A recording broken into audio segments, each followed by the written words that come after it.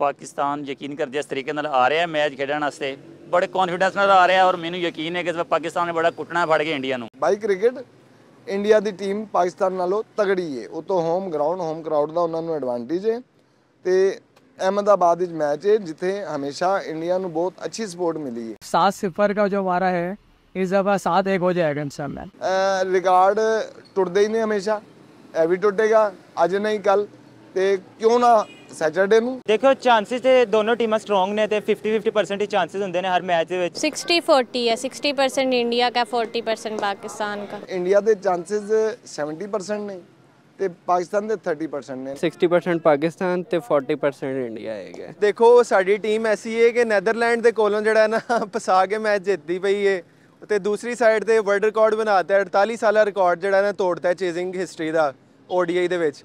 ਤੇ ਕੁਝ ਕਿਹਾ ਨਹੀਂ ਜਾ ਸਕਦਾ। ਪਾਕਿਸਤਾਨ ਟੀਮ ਆਊਟ ਕਲਾਸ ਵੀ ਕਰ ਸਕਦੀ ਹੈ ਇੰਡੀਆ ਨੂੰ ਵੀ।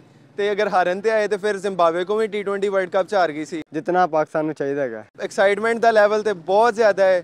ਤੇ ਕੋਸ਼ਿਸ਼ ਹੈ ਹੀ ਹੈ ਕਿ ਦੋਸਤਾਂ ਦੇ ਨਾਲ ਜਾਂ ਕੁਝ ਭਾਈਆਂ ਦੇ ਨਾਲ ਮਿਲ ਕੇ ਮੈਚ ਵੇਖੀਏ ਕੋਈ ਵੱਡੀ ਸਕਰੀਨ ਲਾਵਾਂਗੇ ਤੇ ਮੈਚ ਇੰਜੋਏ ਕਰਾਂਗੇ ਇਨਸ਼ਾਅੱਲਾ। ਮੇਰੇ ਪੰਜ ਬੱਚੇ ਨੇ ਤੇ ਕਮਾਣਾ ਬਹੁਤ ਜ਼ਰੂਰੀ ਹੈ ਤੇ ਮੈਚ ਦਾ ਵੀ ਸ਼ੌਕੀਨ ਆ।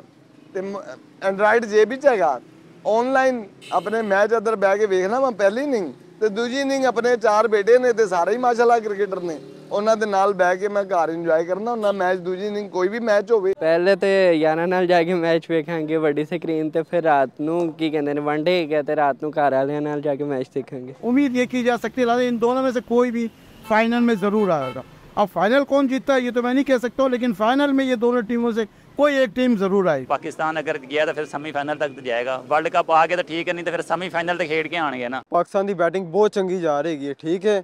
अगर पाकिस्तान की बैटिंग इस तरह ही सही रही ना सिर्फ़ बॉलिंग वालों मसला आ रहा है। बॉलिंग थोड़ी जी सैट होगी ना इन बहुत उम्मीद है कि पाकिस्तान ਇਹ ਜਿਹੜਾ 14 ਅਕਤੂਬਰ ਨੂੰ ਹੋਣ ਵਾਲਾ ਮੈਚ ਜ਼ਰੂਰ ਜਿੱਤੇਗਾ ਤੇ ਇਨਸ਼ਾਅੱਲਾ ਵਰਲਡ ਕੱਪ ਵੀ ਜਿੱਤੇਗਾ। ਅਗਰ ਪਾਕਿਸਤਾਨ ਇੰਡੀਆ ਨਾਲ ਮੈਚ ਜਿੱਤ ਜਾਂਦਾ ਹੈ ਤੇ ਇਨਸ਼ਾਅੱਲਾ ਸੈਮੀਫਾਈਨਲ ਕਰੇਗਾ ਮੇਰੇ ਹਿਸਾਬ ਨਾਲ ਪਾਕਿਸਤਾਨ ਅਗਰ ਟਾਸ ਜਿੱਤ ਜਾਂਦਾ ਹੈ, ਤੇ ਪਾਕਿਸਤਾਨ ਨੂੰ ਬੋਲਿੰਗ ਲੈਣੀ ਚਾਹੀਦੀ ਹੈ ਕਿਉਂਕਿ ਪਾਕਿਸਤਾਨ ਟਾਰਗੇਟ ਦੇਣੇ 'ਚ ਫਿਰ ਥੋੜਾ ਜਿਹਾ ਕੌਨਫੀਡੈਂਸ ਨਹੀਂ ਹੁੰਦਾ ਉਹਨਾਂ ਨੂੰ।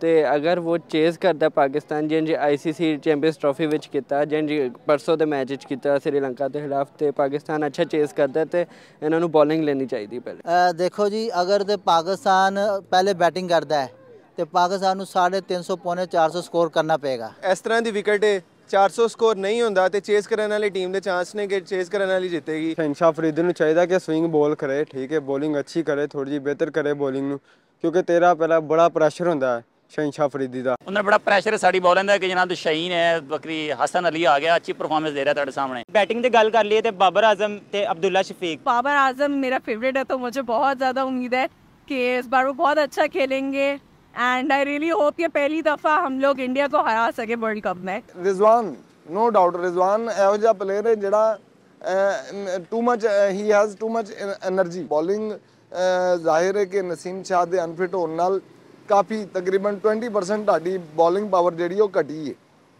ਲੇਕਿਨ ਉਹਨੂੰ ਹਸਨ ਅਲੀ ਨੇ ਪ੍ਰੂਵ ਕੀਤਾ ਹੈ ਵਿਕਟਾਂ ਲੈ ਕੇ ਲਾਸਟ ਮੈਚ ਵਿੱਚ ਕਿ ਮੈਂ ਅੱਛਾ ਮੁਤਬਾਦਿਲ ਹਾਂ ਉਹਦਾ तो बेसिकली अपनी विकेट्स वही बनाएंगे अपने फेवर में बनाएंगे बैटिंग विकेट्स बनाएंगे और एक बड़ा स्कोर करेंगे इंडिया पाकिस्तान के लिए मुश्किल हो जाएगा चेस करना क्योंकि जो एक होम क्राउड का प्रेशर बहुत ज़्यादा होता है बड़े ग्राउंड से लाख का मजमा होता है ग्राउंड के अंदर ਇਹ ਉਹ ਤੁਸੀਂ ਦੇਖ ਲਓ ਪੂਰੀ ਦੁਨੀਆ ਹੀ 'ਚ ਇੰਡੀਆ ਦਾ ਕਰਾਊਡ ਪਾਕਿਸਤਾਨ ਤੋਂ ਜ਼ਿਆਦਾ ਹੈਗਾ ਕਿਉਂਕਿ ਉਹਨਾਂ ਦੀ ਆਬਾਦੀ ਸਾਡੇ ਤੋਂ ਜ਼ਿਆਦਾ ਹੈ ਲੇਕਿਨ ਉਹ ਸਾਨੂੰ ਵੀ ਸਪੋਰਟ ਕਰਦੇ ਨੇ ਉਹਨਾਂ ਦੇ ਵੀ ਕਈ ਲੋਕ ਹੈਗੇ ਨੇ ਪਾਕਿਸਤਾਨੀਆਂ ਨੂੰ ਪਿਆਰ ਕਰਦੇ ਨੇ ऑब्वियसली विराट कोहली डेंजरस तरीन प्लेयर है इस टाइम बेहतरीन प्लेयर है मेरा फेवरेट बैट्समैन है ਅ, ਕਪਤਾਨ ਬਾਬਰ ਆਜ਼ਮ ਦੁਨੀਆ ਤੇ ਉਹਦਾ ਇੱਕ ਨਾਮ ਹੈ ਇੰਡੀਆ ਦੇ ਵਿੱਚ ਉਹਨੂੰ ਜਿਹੜਾ ਅ, ਜਿਹੜਾ ਉਹਨੂੰ ਵੈਲਕਮ ਕੀਤਾ ਗਿਆ ਉਹਦਾ ਜਾਂ ਉਹਨੂੰ ਜਿਹੜੀ ਸ਼ੋਹਰਤ ਮਿਲੀ ਹੈ ਤੇ ਉਹ ਮੇਰਾ ਤੇ ਦਿਲ ਹੈ ਕਿ ਉਹ ਡਿਜ਼ਰਵ ਕਰਦਾ ਹੈ, ਉਹ ਇੱਕ 100 ਕਰੇ ਮੈਚ ਬਲਕਿ ਮੈਂ ਤੇ ਕਹਾਂਗਾ, ਕੋਹਲੀ ਵੀ 100 ਕਰੇ ਤੇ ਬਾਬਰ ਵੀ 100 ਕਰੇ, ਮਜ਼ਾ ਤੇ ਤਾਂ ਹੈ।